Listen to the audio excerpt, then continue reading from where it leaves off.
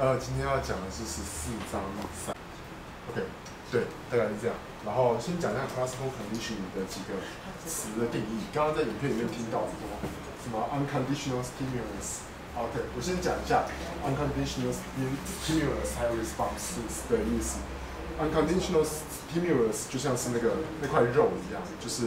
那块肉拿到那个狗的前面，然后狗开始流水，所以肉对狗来说，那个肉就是 unconditional stimulus。然后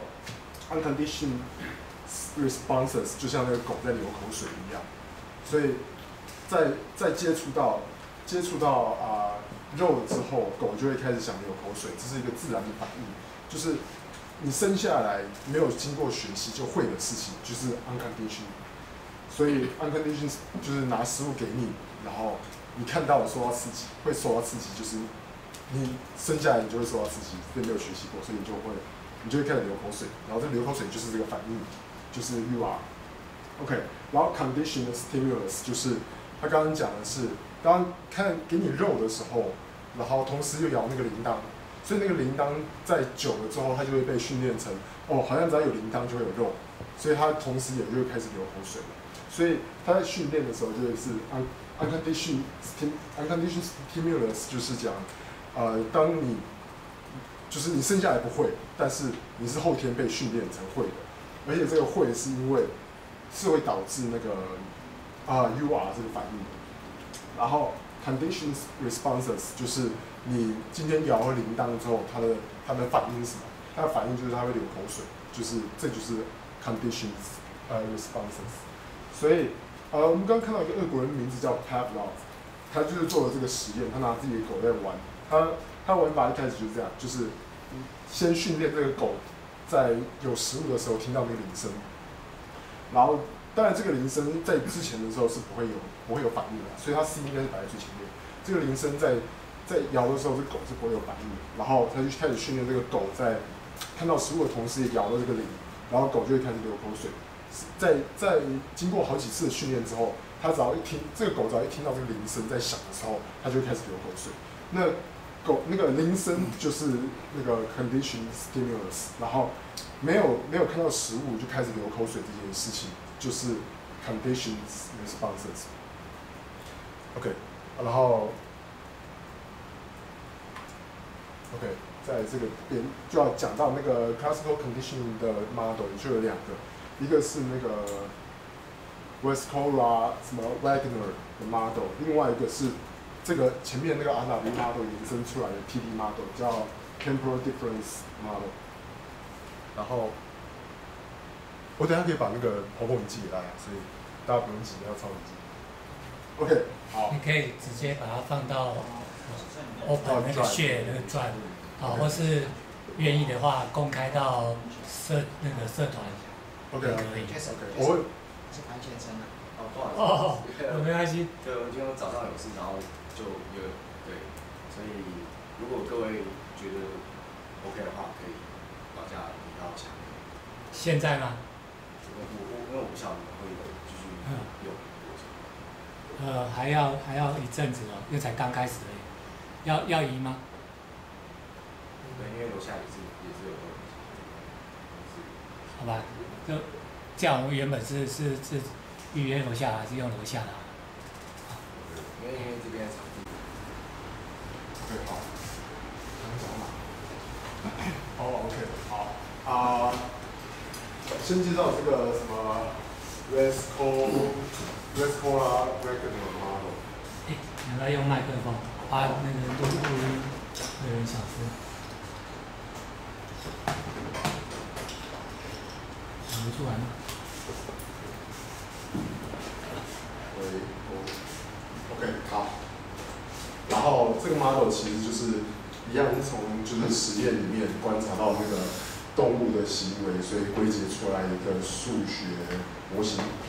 然后它最主要的用用途在这边呢，就是它要。它要能够就是把不同 CS 的影响数值化，所以它嗯对，然后它有个非常非常有那个著名的特性，就是假如你有先 pretrain 一个一个 CS 之后，就是一个 CS 对了一个 US 之后，第二个第二个出来的反应就会没有办法对到这个 US。比如说刚刚那个狗在响铃铛这件事情，那狗在响铃铛可以流口水，那假设它它的假设会变这样，就是狗响铃铛流口水，但是你假如狗在响铃铛的同时，你又给它看一个呃黑布，那那个黑布对于它学习流口水这件事情效果就会比较差。会差很多，对，所以基本上这个是，就是狗在学习完摇听铃铛之后，再让它看屏幕，效果会很差，所以这是这个 model 一个非常非常就是呃有特的，但它的一个特色。然后，所以简单讲就是动它的总结一个讲法就是这个动物只有在它第一次接触到，就是它被。surprise，他被 shock 到的时候，他才会学习，学习起来。这个对他来讲，学习的成果最好的时候。对，然后等下我就会讲到那个什么 error prediction。简单讲，这个 model 就是 error prediction 最高的时候，他学习最好。OK，所以我们再看那个，就是这个图，这个图基本上就是这样，就是很多个 CS 对到一个 US。简单讲，就是摇铃铛会产生流口水这个，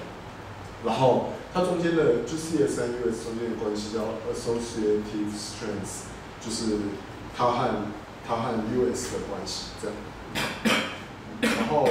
哦，我先讲一些基本概念啊，你等下看那个公式的时候会比较好懂。然后这些 associative 呃，strength 加起来的时候就叫就是加起来的 associative strength，对，然后。OK，所以它的公式出来了，它的公式就长这样。那它的公式，OK，好，它的公式基本上就是这样，就是它这个阿尔法 A 和贝塔 Y 这个是 learning rate，然后这个 learning rate 要去要去乘上呃 RY 减 VAX，RY 减 VAX 这件事情就是那个 prediction error。我等下会用实际就是推导给大家看，这样大家会比较好理解，这到底在做什么。然后，嗯，这个 R Y 其实就是 U U S，这个 U S，然后那个 V 的 S 就是 Aggregate Associated 呃 Strength，就是那个 V A 和 V X 加起来的东西。然后那个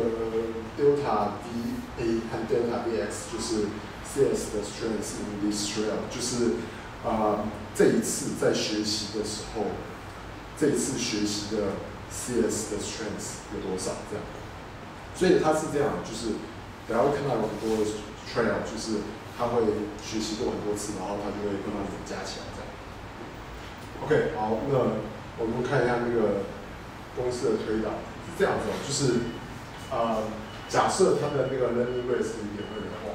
加它两个乘起来一点二，然后假设这个 R Y 是一的时候，那呃，最一开始的那个 V A 是零，V A 不是那个 delta A，V A V A 是零，那它的那个 R Y 就是一去减掉零，因为那个呃，对，R Y 是一嘛，然后这个是加总和的那个 strength，所以会是。啊，一去减掉零，它就会是一，所以它的 delta 这次学习到的东西就会是，啊，learning rate 零点二的时候，它这次学习到的东西就会零点二，然后它第二次在学习的时候是这样，就是它的 VA 会是零点二，从零点二开始学，然后一样，它的 RY 是一，然后呃去减掉零点二就会零点八，然后零点八再去学 learning rate 的话就是零点一六，所以他这一次学到的东西，他这次学到的那个。呃，CS strength 会是零点一六，然后在第三第三次学习的时候，就会是前面的这两个的总和，就是他已经学过的，他已经学到的东西，就是 BA。那他这次他再去减掉，一直在去减掉他已经学过的，就他还有还有哪一段还没学到，所以他就慢慢把慢慢把它补起来的概念，就是比如说你摇铃，第一次摇的时候，可能我学到。呃，百分之五十这个摇铃的几率会是流口水，然后第二次摇的时候会变百分之六十，我确定它会变百分之六十。第三次摇的时候，它我确定它是百分之七十七十的几率会会会有食物出现，所以我会流口水。所以第再就是一次一次增加这个这个呃就是 CS 的 strength，然后 OK，所以第三次、第四次这样以此类推。OK，所以呃在学习政治的时候，大家在看那个就是 R Y 减 V X，它是会逐渐递减的。简单讲就是这个这个这个 model 在在预测的错误率会越来越小，因为比如说我今天摇铃第一次，我的错误，我现在认为它只有百分之五十几率会，所以我的错误率就是百分之五十。我第二次摇的时候，我认为它有百分之六十的几率会有失误，所以它错误率就是百分之四十。所以这个错误率会逐渐接，逐渐由它学习次数的多寡逐渐降低，所以会成这个图。哎，对，然后慢慢趋于平缓，因为学越多次的时候，它的那个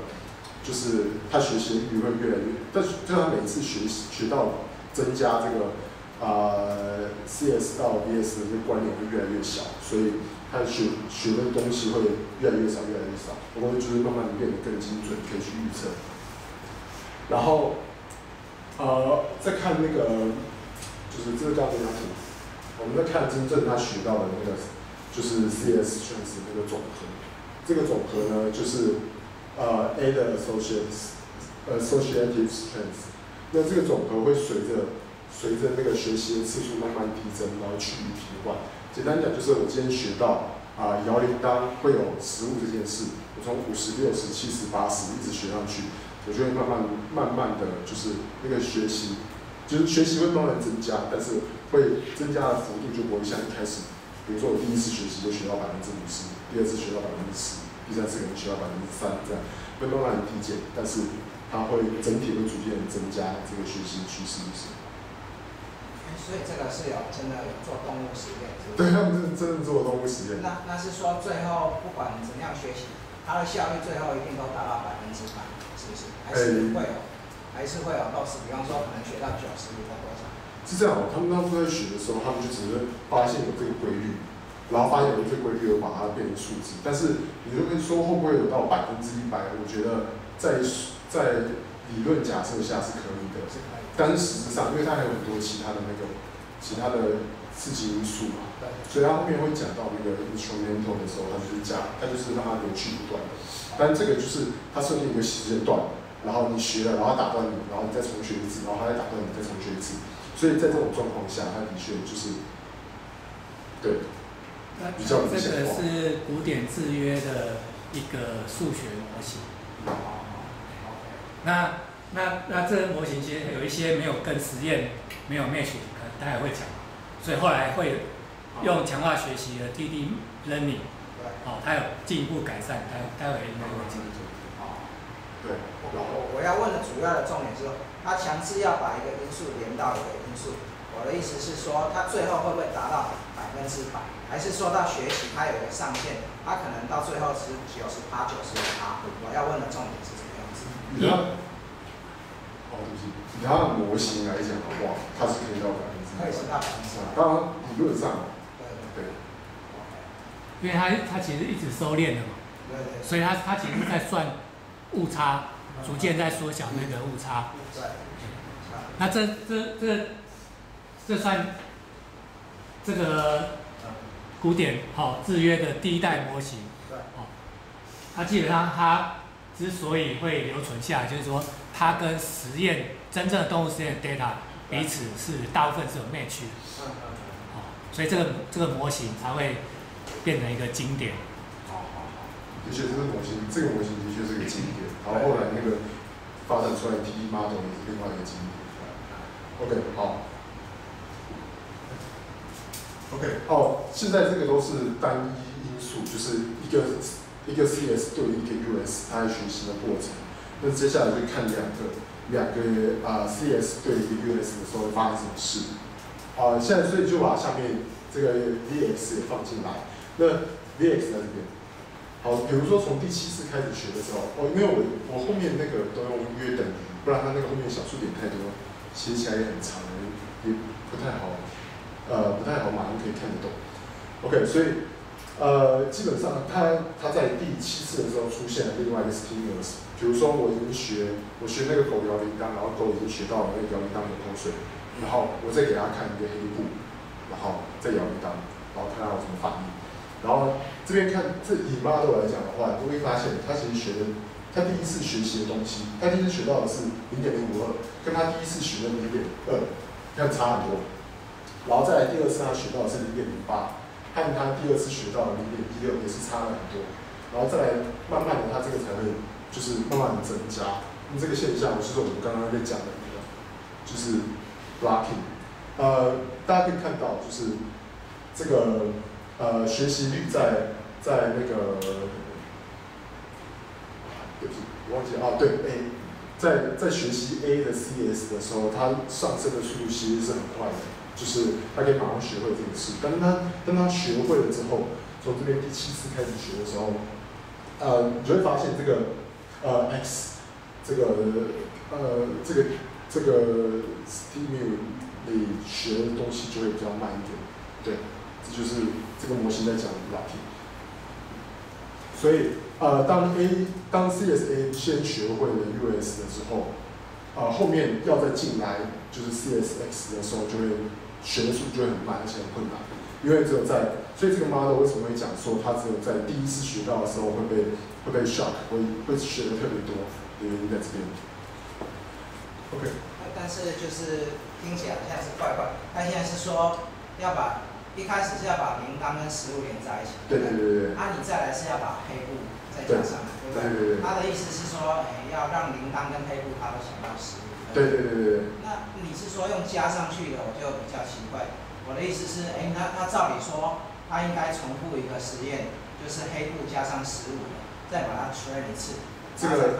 这个怎样？我们会讲，因为这个这个东西跟时间有关系，这跟你训练的时间有关系嘛，所以训练的时间有关系，就是因为这个这个呃什么 RW model，它一开始在考虑的时间时候，它只有考虑到我要训练，就是而且它有不同的状况出现的话，我怎么办？那后来他后来别人就发现了，OK，那个有 timing issue，就是我学习的早还学习的晚，或者是我重复学在同一个时间重复学习两件事，或者是啊学习到两件事，但是这两件事都没有发生，那他他就会开始讲说，OK，那怎么样？这这个 model 要如何画？对，OK，好，呃，再来对，所以这个。这个 V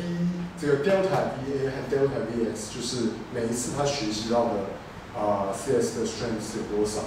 所以呃当然我们可以用另外一个方式来看嘛，V V 的 A 和 V 的 X，那 V 的 X 其实就是我们刚刚讲的，就是 CS 对 CR 的一个反应的程度，简单讲都可以说是就是 CR 的 strength，当然那个是就是比如说我今天学到了。啊，七成的摇铃铛可以流口水，那所以摇铃铛流口水这件事情，有七成的话，就代表我知道就是这个反应，就是我摇铃铛的反应会有七成。这他又是他又可以说是这个 V 又可以说是就是它是一个施压这样。呃，我我打断一下哦，之前有在 study deep learning 的，这边的后面的刮偶像，哦，就是 deep learning。模型里面讲的 object function，哦，前面这个 alpha beta 就是那个 learning rate，啊，它这个 delta 就是那个归点的那个 data，啊，你把它对应到神经网络，它其实就是同样这样的关系。哦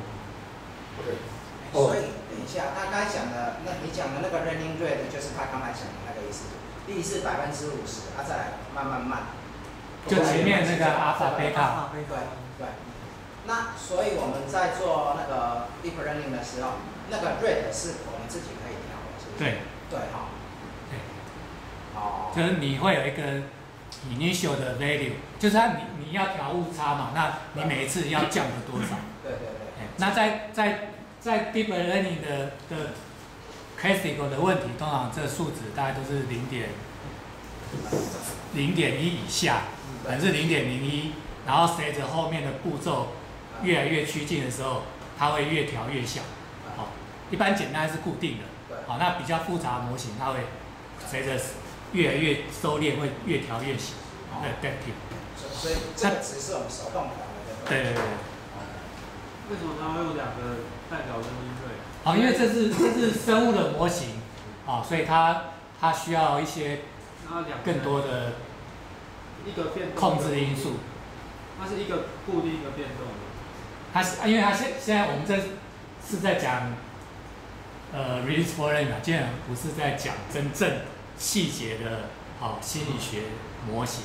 好、所以这边就没有去讨论说这模型的每个细部是什么。哦，啊是，呃，或者我我是补充它，因为它那个阿尔法对象的那个标号是 A 嘛，那个 A 本身它应该是指的是你那个刺激物，对啊，那种刺激不同的刺激物会导致你不同的阿尔法，然，后 Y 本身是你那个动物对那个反应，就是那个哦 unconditioned 的 stimuli，对对，所以贝塔是指那个动物的那个反应的反应程度，啊对所以它是成两个。是，然后后面那个就是 prediction error，这样，OK 哦，OK，OK，所以，好，我们刚刚讲到这边，就是，所以 D 这个东西其实就可以说是在在在这个 model 里面，D 就可以说是呃 X 的 R R CR 的那个的强度。OK，那再来讲到的是 TT model。嗯，TT model 就是 based on 前面这个 RW model 的东西。那它其实在考虑的就是它在它有那个就是 tem temporal dimension，其实就讲的是时间的问题啊。因为你在学一个新的东西的时候，它会有时间性，然后呃，等下后面再讲。然后他他有在解释那个就是呃。哦，他在解释的就是那个就是时间性，就是在我过去的经验，还还有我现在在比较经验的一些就是交叉比对。然后他有讲到那个 second order conditioning。那我讲一下什么叫 second order conditioning，就是 first order 就是 first order 就是 primacy conditioning 的意思就是，OK，呃，我今天吃饭我可以获得最大满足、最直接的满足，所以我吃饭。那呃，second secondary 的 condition 就是 secondary 的 reinforcements，就是我今天讲我再饿一点，我吃饭会更开心，所以我要再饿一点，这叫 second。所以他这边还有在考虑到就是 second order condition。然后呃，那个 TD model 是一个很重要，就是在 real time view 来讲，它是一个非常重要的特性，因为呃，它是它是你直接在当下，就是你在训练的当下，当个 trainer 它就会有反应，所以它不会是，比如说呃，我知道了，我知道，我知道我未来找工作跟我的学业没有关系，所以我现在好好念书，它不会是这样，它是我现在马上判断我要这个或我要那个这样子的一个 model，所以后面在讲那个 instrumental con condition 的时候。常常会带到那个 TD model，就是因为它有 real time 这个特性。OK，所以它是 real time learning，然后 real time 样，然后 OK，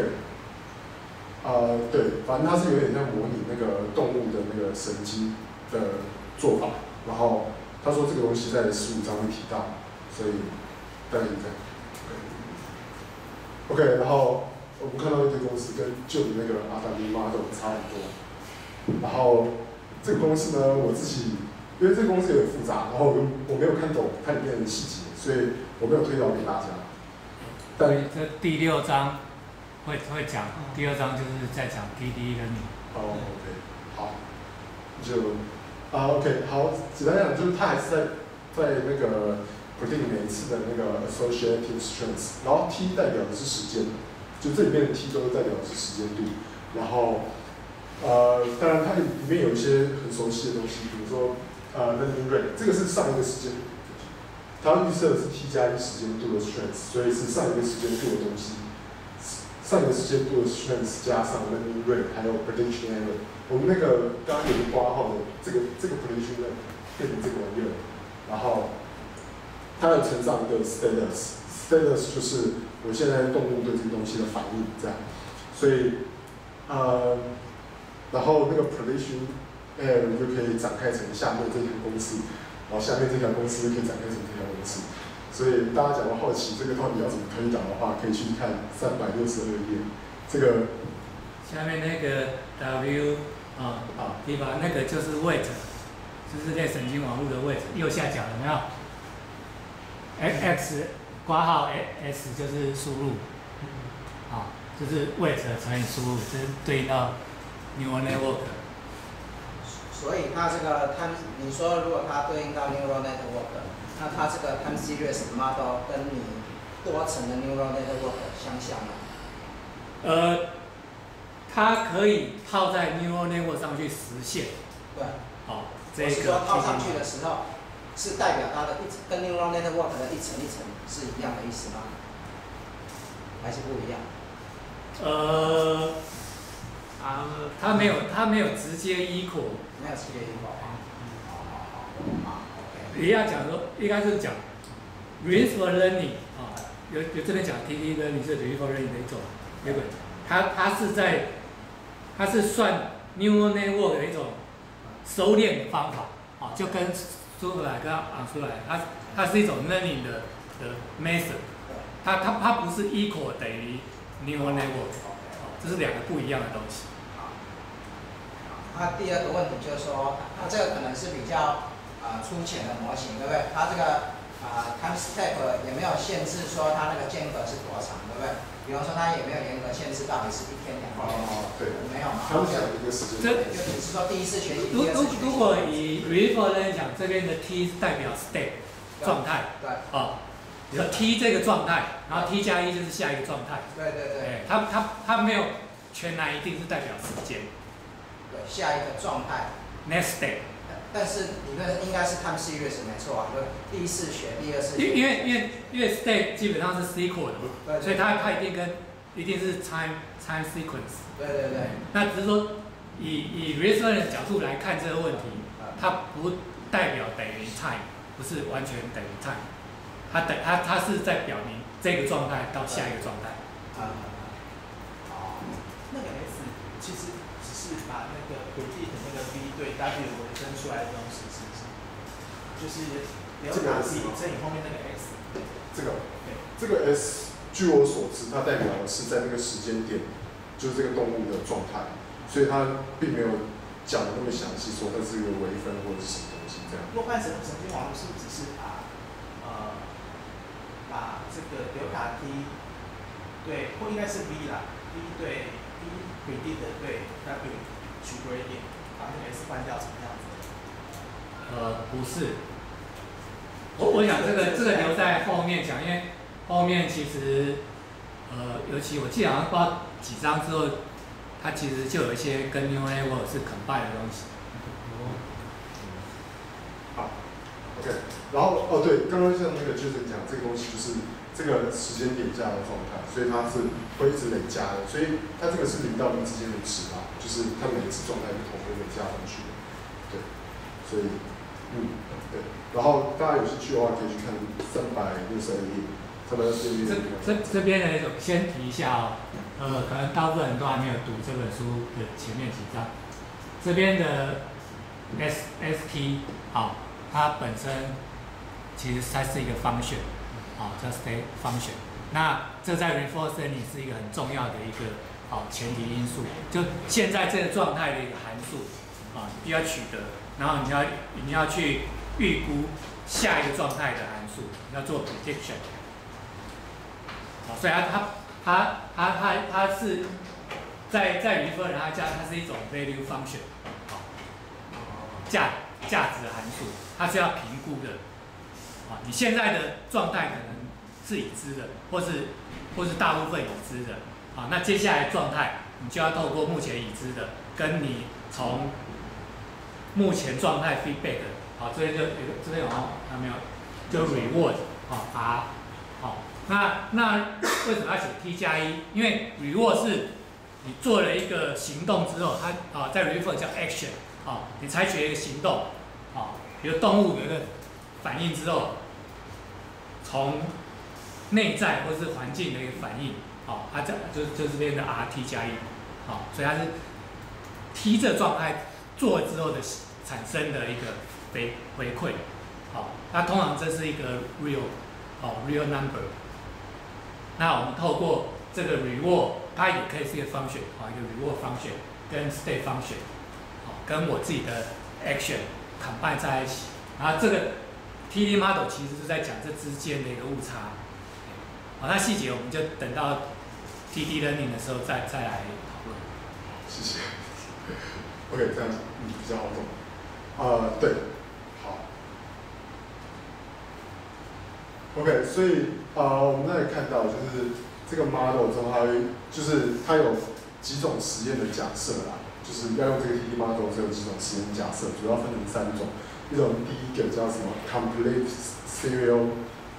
compound，然后第二个叫 micro stimuli，然后第三个叫 presence。所以这三个的差别是这样，就是它今天在呃 CS 发生的时候，这个是外在，这个是内在的状况，这是外在的刺激。所以内在的状况，呃，因为外在的刺激是用这样的方式刺激，所以内在的状况会就是它一直被刺激到，然后到最后一个点就是连接上 US。然后中间那个的话，就是它的刺激逐渐趋于平缓，然后一样，它还是连接到 CS。最后一个就是它的刺激是这样不断的，好最后最后就产生了 CS。然后第一个就是第一个叫 CSC 的这个模式，它是就是在实验上很常用到，但它算是一个比较科幻的，就是他们在讲叫 fiction 的一个的一个就是实验的呃方法。因为基本上在真实世界不会出现这样的模式，那反而是中间这个模式比较会在真实世界出现。就是大家也知道，就是一般刺激的时候，外界刺激你的时候，也不会是一直同一个强度在同一个时间段里面一直连续的刺激，一般都是有强度的，就是增减这样。所以第二个是比较真实的，那第三个就是很常用在模型推导上面的一些应用这样。然后呃，再来我们就要看就是这几个。呃，就是这些外在这些外在刺激训练 CS 了之后，它那个实验数据会怎会发生什么事情？然后它跟前面那个 RW model 有哪些最不一样的地方？OK，呃，第一个叫做就是就是 facilitation of remote association by intervene stimulus in the T model。简单讲，就它就有一个 remote，呃，remote 的 CS 叫 CSA。这个 CSA 呢，它不是直接按 US，它不是直接接上 US 的，所以看这边断掉这个点上，和 CS 的呃 US 接上这个开始是有时间落差的。那他们就实验了，发现大概这是实验八十次的例子，实验了八十次，发现假如中间有卡一个 CSB 的话，这个 CSA 的的学习效果会比较好。那假如没有卡的话，这学习效果就会底下这条线，就是学习效果就会比较差。所以在 TD model 上面的话，它就是在 CSA 和就是只要中间有在卡一个，假如它是假如它是叫 remote 的 asso 就 remote association，就是它假如不是直接接到 US 上面的的的 CS 的话。中间会卡一个，它的学习效果会更好，这样子。然后这个和 T model 其实现在开始在讨论讨论的东西和 RW model 最不一样的地方就是，呃，你会看到上面已经有时间段，就是他现在在讨论的是，它有每个时间段不同时间段它会造成什么样的学习影响。然后这是第一个，再来第二个比较著名的例子叫做，就是有一个叫 Edgar Miller 的人，他做了一个实验。然后他做的这个实验好像是兔子的实验吧，就是他把那个兔子，就是他拿那东西去弄兔子的眼睛，他没有真的弄到，然后兔子会一直眨眼，所以眨眨到最后，他就是归真归论出这个这个实验结果，就是他今天讲的是呃 A 和 B，就是 A 的刺激时间比较长，B 的刺刺激时间比较短，但是基本上都是呃基本上已经是有重叠刺激的时间，然后才发生 US 的话。就是它会增加，呃，它它会降低那个 CSA 的，它会，对，它会降低 CSA 的学习效率。所以简单讲就是，当 CS 当 CSA 出现的话，CSB 会会比较低；当 CSB 出现的话，而当 CSA 出没有出现的话，CSB 会学的比较好，这样子。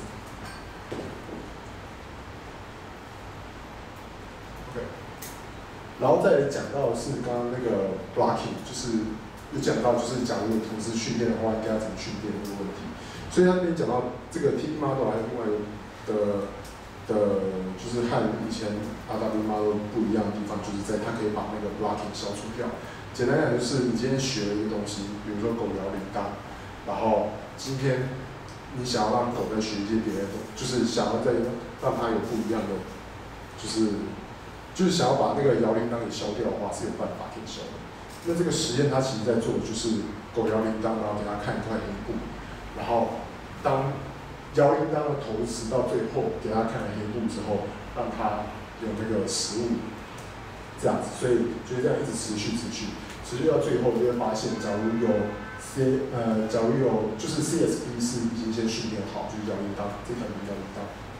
然后这个是黑布，所以当他先看到了黑布，然后再摇铃铛，然后给他食物吃的时候，就是他就是有有黑布的状况会让。那个摇铃铛的效果会逐渐减弱，因为他会觉得就是这两个是，就是他会，他会逐渐减弱他的那个，就是对于啊对于摇铃铛的预测。这个好像有确定，因为我刚才看书的时候一样，就是那个图的，那个右下这个图的 WCSA，它是标错，应该是 WCSB 吧？啊，其实我也觉得很对不对？因为我在我在旧版的嗯。书上面看到它是写 B 的。对，因为因为从语义上来讲，它应该是指说 CSB 的强度它是一点六这么高，是它训练好。对对对对对对。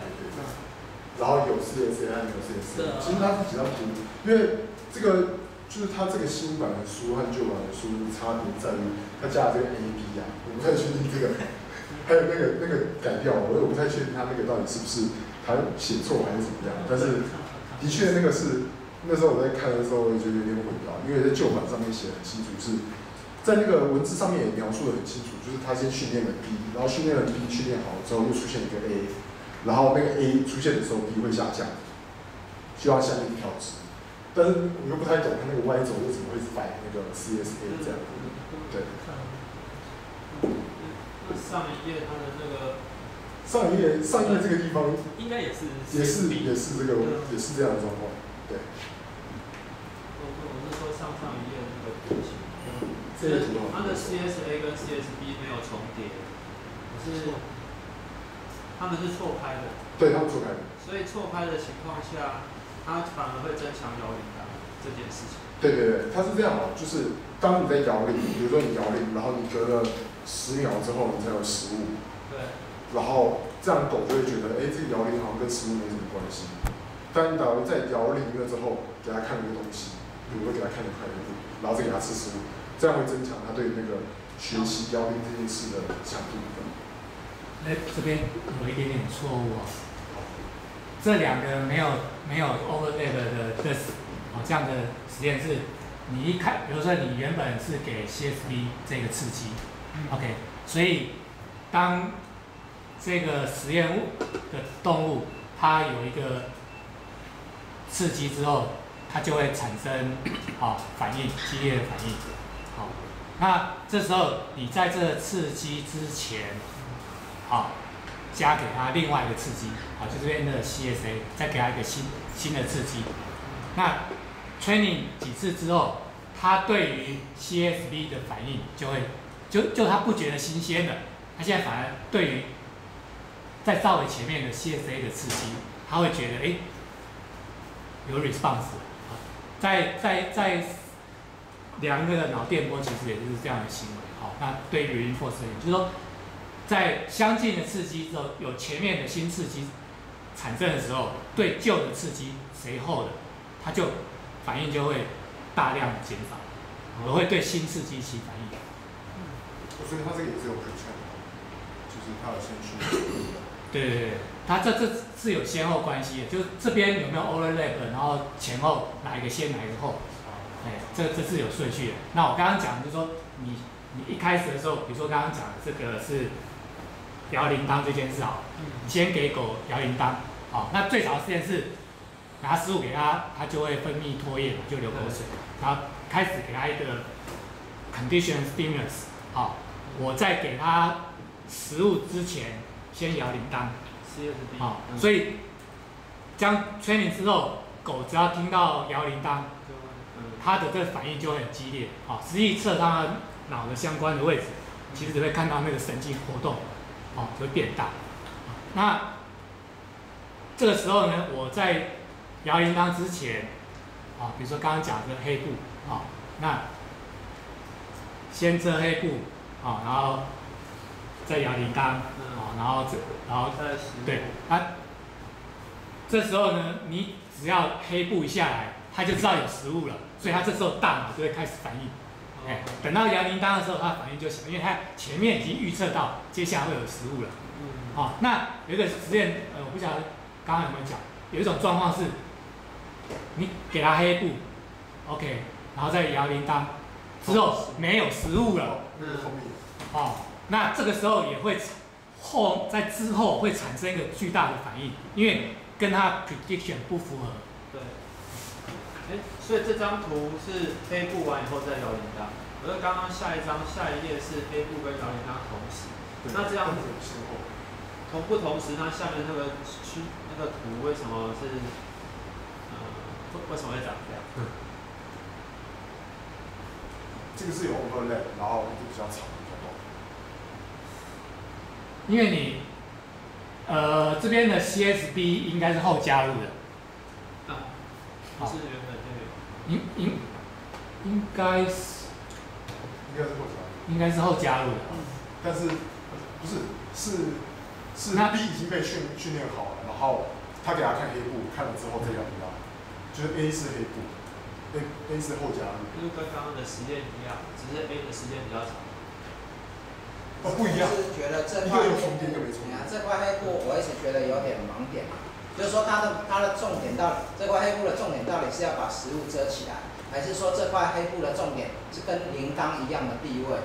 对，它它是一个刺激。嗯，对啊，啊如果是一啊个，刺你你也可以不用黑布，比如说你应该闪光。对对对，我的意思是它的地位如果是跟铃铛一样的话，可能是要两个独立独立先训练再来下他们就是想要扰乱他，它不是想要说扰乱他之后会对原本的训练造成什么影响？哦，所以它的目的不是要遮起来，它的目的是跟铃铛同样的。对对，他其实黑布他只是摆在旁边，摆在他视线内，他并没有要在他面前要放来晃去。好好好。那就只是要扰乱他对原本他已经训练好的那个铃铛的学习。对，这里扰乱是 A 还是 B？就是先训练好了。呃，照 Jason 的说法是，呃，我我有看过那细节化，那这个这整个的精神啊、其实就是原本的刺激跟后来的刺激，后来刺激会有强化的效果，原本的刺激会减弱。他是说后来这个 B 的刺激会增强新前面的。它它它有猜谜的关系，如如基本上呢，如果后来的刺激是有作用的，原本的刺激就一定会减弱。嗯，哦，对，其实其实真正的 reinforcement 也是这样，就是说你的 prediction 的结果跟实际的 outcome 是不一样的，它一定要做立即修正，对不然不然这它就不叫 re reinforcement learning，所以它这时候必须要修正它的误差。嗯，那这这这一页跟下一页的差异是在哪里？有没有重重叠？就他自己有有？那我们得到的结论是说，重叠的话，反而黑布的效果就会降低；不重叠的话，黑布的效果会增强。B 是铃铛哦，B 是铃铛，A 是黑布。对啊，所以你的结论是说，对，结论是说是这样，就是就是它的重叠的话会降低，呃降低黑布的效果。呃，对不起，我这边写错了，它是降低那个铃铛的效果。不重叠的话是会增强，不重叠的话是会不重叠这边是吧？这个不重叠是讲那个哦，中间还有在塞一个，这样。它不重叠的话，它是会增强黑强黑布的效果。哦，重重叠也有，呃是它是后来进进进入的。你看那第下一个，它那个重叠是从两秒以后才开始介入，不不，重叠是上面这块重叠啊，这个是这个是新进来的。就 B 那个刺激是从两秒以后才对对对，它是先刺激 A 先刺激，所以才造成 A 的下降。对。这里的改版下降。是 A，对。这个图然后好像真的旧版的这个左边这个是比较只是 B，对对对，这这就跟刚刚讲的这样，就 CSB 是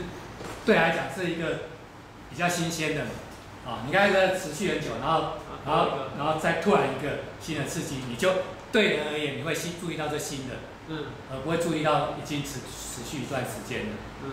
人是这样，动物也是这样啊。那 reinforced learning 它其实也在强调这样的学习方式。所以这呃这会不会不是普劝的，就是一个 C 热的？呃，这对动物来讲都都需要补劝，因为因为这些都是在动物上面做实验，它需要一段时间才知道你你要它干嘛。啊，因为它以以动物来讲，比如说以食物来讲，它它原本不晓得这跟食物是有关系的，所以它需要 training 一段时间才了解这之间啊是有什么关系。你把它对应有点像素来的你啊。你你不给它喂一些东西，让它知道对应关系，它原本是不知道这彼此是有关系的。它不就像他刚刚讲的那个叫做 secondary stimulus 在，好，他不是直觉的啊。你看刚开始看到食物是直觉嘛，那摇跟摇铃铛，你开始只是第一次摇铃铛，他不晓得这是跟食物有关的，他也是要 train 你一段时间，几次之后，他才知道哦，摇铃铛其实对应接下来食物就会来。那我是指说，那像这个图看起来时间是 overlap，那是不是说是盖黑布，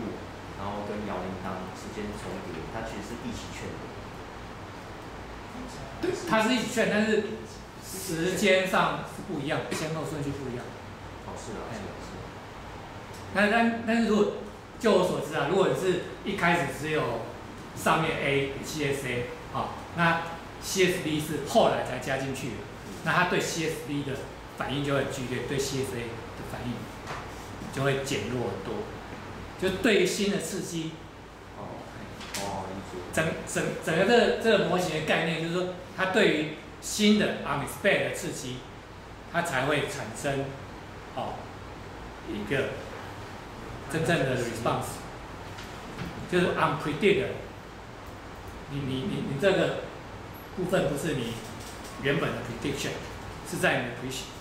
哦 prediction 之外的，那这就产生很大的 error。哦，所以你要去收敛这个 error。